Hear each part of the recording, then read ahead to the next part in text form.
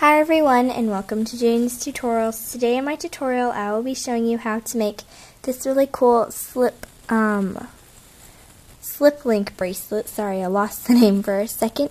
But if you look really close in there, there is the slip knot design and the fishtail design on, this, on the back.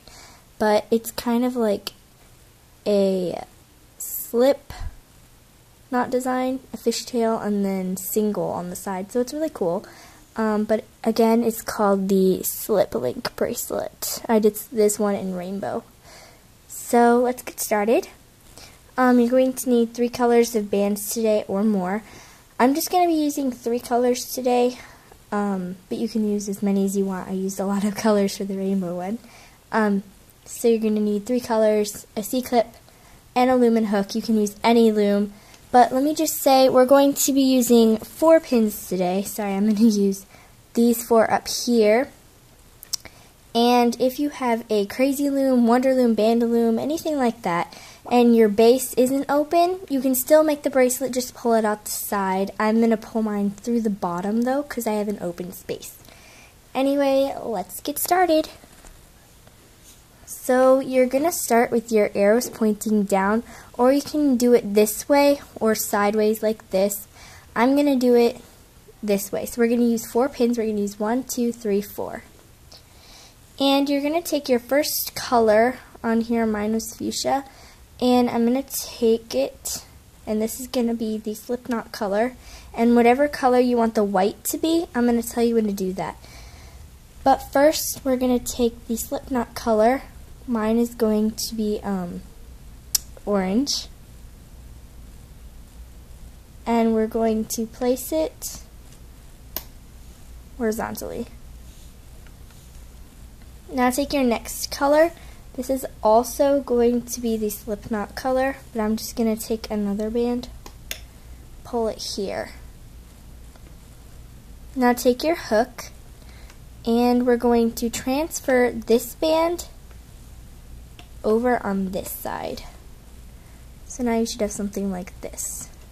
Sorry if the camera is not the most clearest, but um, now we're going to take the band that you want the white to be here, and we're going to take it and loop it across all three pins in a triangle shape. Take your hook and loop up these two bottom pink bands, and then take your hook and loop up these bottom two bands. So you should have something like this. So now we're going to take another horizontal band place it across, take another vertical band, and place it vertically. And we're going to do the same technique. Take this band, move it here, and now we're going to loop up the green band. And you can see your bracelet starting to form here. Um, if you're using the same pegs, pegs as I am, I'm going to pull it this way.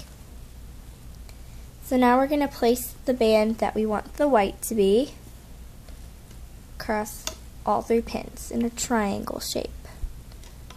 So now loop up the two pink bands and those bands. So I'll show you again. Let me zoom in a little bit. Maybe that'll help.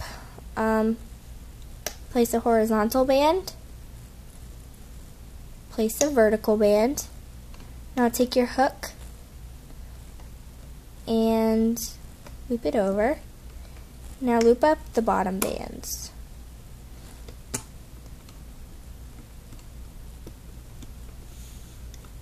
That band didn't want to come up. So now you should have both of your loops here and two bands on these pegs.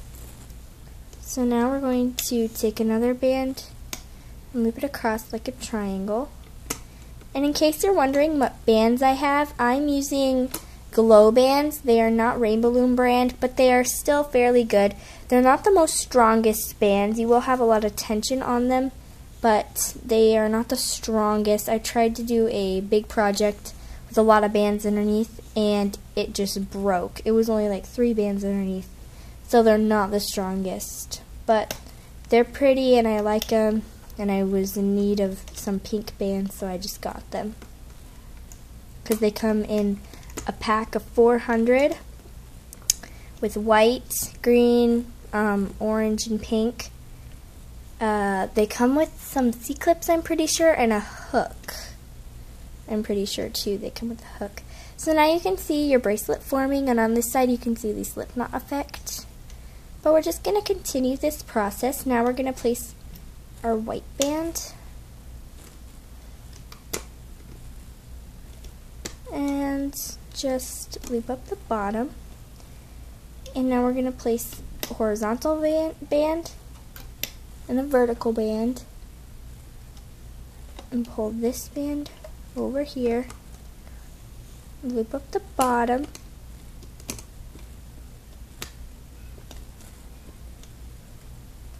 pull on your bracelet a little bit.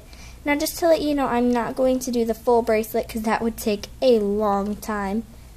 Um, so you're just going to continue this. But I will show you how to close it off. So I'm just going to make it a little mini sample. And I think I'll do this two more times. So I'm going to place a horizontal band and a vertical band. Now take your hook and loop this band over to this peg and loop up the bottom. Squish it down a little bit and pull on your bracelet. So I really like the look of this bracelet. It's pretty similar to my lacy slipfish bracelet. Oh, and by the way, these bands are available at Target in case you're wondering.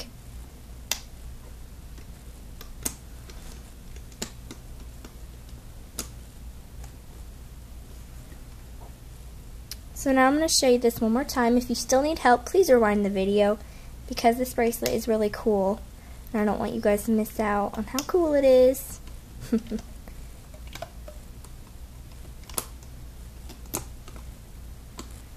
okay, now we're going to place our, I'll call it my white band, since it is the band that's going to be the white on my bracelet, and loop up.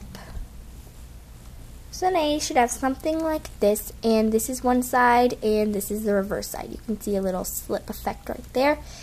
And I really like that fishtail and slip knot look to it. I absolutely am like totally in love with that look. I love all bracelets like that. But anyway, now we're going to finish it off. Why did I zoom out? I don't know why I zoomed out. Okay. Anyway, now after we've placed the band that is our white color here, we're going to take all these bands onto our hook. So now you should have like three loops here. And if you want to, you can string another band through or you can just attach your C-clip. Um, right now, since all these bands are really tense, I think I'm going to slip another band through.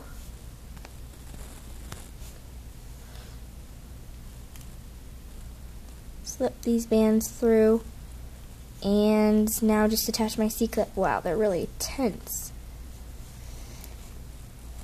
So there we go. Why is that band sticking up? Mm. Anyway, there is your bracelet. And again, I only made a sample because it would take me a long time to have made the full bracelet. Um, I don't have a camera that can um, rewind or pause or whatever. So anyway, I really like the look of this bracelet and I hope you guys do too.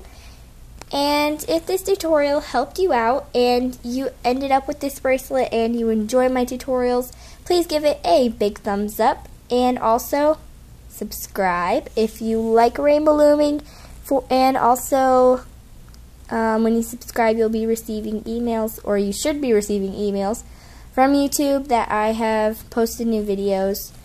Um, if not, then that's at least what YouTube does to me for the channels I subscribe to. So if it doesn't for you, I don't know, maybe I'll look into it. Um, but anyway, thank you guys so much for watching this video. I really hope you enjoyed it. And yeah, that's basically it. Oh, and also, right, or just before I made this video, I made some DIY gummy fruit snacks. And if you're wondering what channel I got that from, it was So Craftastic. Thank you, So Craftastic, because they look really great. And I bet they'll taste really good too. So anyway, again, thank you guys so much for watching. Thumbs up and subscribe, and I'll see you next time. Bye!